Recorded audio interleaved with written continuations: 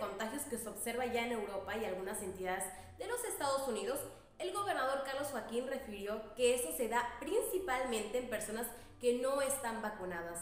En el caso de Quintana Roo, el 99.2% de las personas que están en el esquema de vacunación ya tienen una dosis y el 86% ya cuentan con un esquema completo, es decir, con las dosis completas.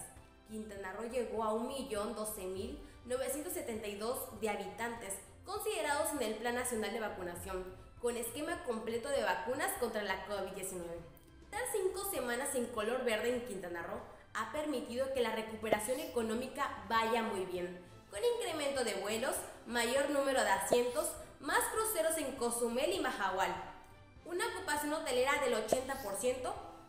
Para el invierno de 2021 se tiene previsto una ocupación hotelera de entre 90 y 95%, que se hasta principios del año 2022. Mi nombre es Gabriela Tinal para Cancún Channel y Contrapunto Noticias.